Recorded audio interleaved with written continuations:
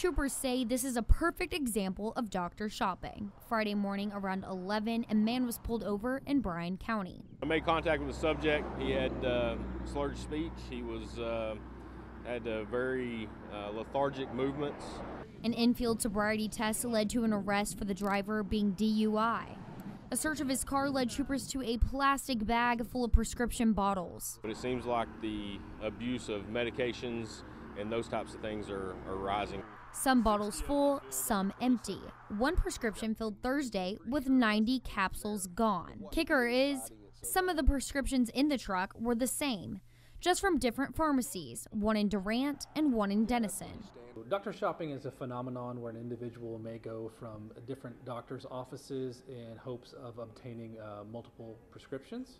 Illegal under both state and federal law, whether for one's own use or selling or distribution. States including Texas and Oklahoma have a prescription monitoring program to crack down on the abuse.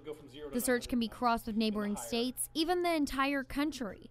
But with these tools in place, how do people slip through the cracks? In the emergency room setting, we always look at potential drugs of abuse. That may not be the case in a, general practice.